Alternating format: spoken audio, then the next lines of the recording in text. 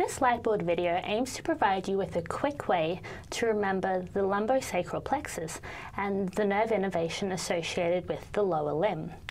So I, although I have gone through this in my lecture, I am going to go through it again just in terms of how we draw out the lumbar plexus and the sacral plexus and the major peripheral nerves stemming from each vertebral level.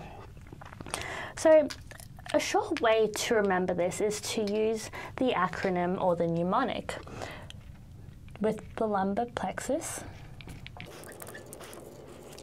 which is going to be some individuals in Georgia like facing off.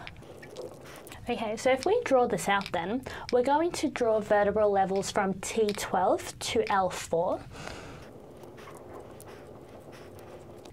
And we're going to draw lines stemming out of each with both a ventral and a dorsal rami. So from T12 then, there are three major nerves that are going to then stem from the rami. So specifically, our first one, so consistent with some, is going to be our subcostal nerve. And then we're going to join up T12 and L1. And just to remember, I usually just put dots to help me indicate or work back to what the origin of each nerve is going to be. So then stemming from here, we're going to give rise to two peripheral nerves. So please note that this is going to be variable depending on which textbook you refer to. But according to Gray's Anatomy, the 40th edition, stemming from T12 and L1, we're going to have our individuals, which is going to be the iliohypogastric. And then the second one in is going to be our ilioinguinal nerve. Okay, so then what happens is from the rami associated with L2 and L3, so if we use the ventral rami, and if we group these two together, the main peripheral nerve that is going to be formed is going to be our lateral femoral cutaneous nerve. Okay, so we have missed out Georgia. So Georgia is going to form from a mountain between L1 and L2. So this is going to be our genitofemoral nerve.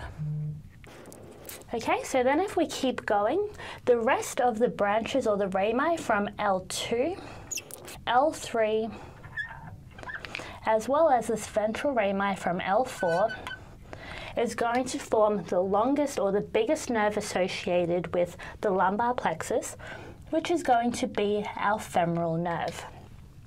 Lastly, the off in our mnemonic is going to correspond to origins from L2, L3 and L4, which is going to then be our obturator nerve. So this is a way to then remember the lumbar plexus. So remembering that the lumbar plexus is then going to supply most of the anterior compartments of the leg as well as the pelvis. We also know, however, that we have contributions associated with the sacral plexus, which is going to supply the posterior aspect as well as the lower leg and dorsum of the foot. So the acronym or the mnemonic that we use to remember this one then is going to be some individuals sit pondering precariously. And to help me remember how to draw this out, we have on mountains. So this one is then going to be the sacral plexus. So if we then draw this out, so if we continue down L5, S1, S2, S3, and S4, and we draw in both the ventral and dorsal rami. And for S4, we only have to draw the superior rami. If we link these up then, and we only have to link the ventral or superior rami of L S4 with S3. So uh, on mountains comes into it with respect to we create three mountains and just pretend there's snow on our mountains. And then we have a plateau associated with L4 to S1.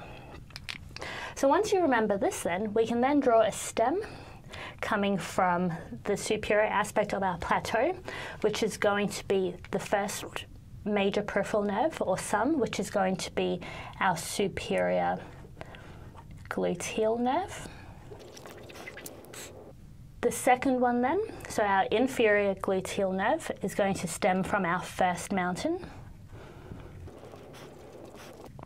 So S is then going to be our sciatic nerve, keeping in mind that there are two branches originating from the sciatic. So you have our tibial branch and the common fibula. So remembering that the origins are going to be different for these. So if we go from L4 all the way down to S3, and we just link these up, we're going to have the tibial branch of the sciatic nerve and then our common fibular branch is going to originate from L4 but only down to S2.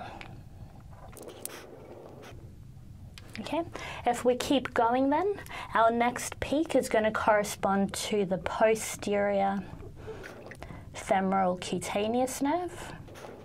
And then our last one is going to be the pudendal nerve.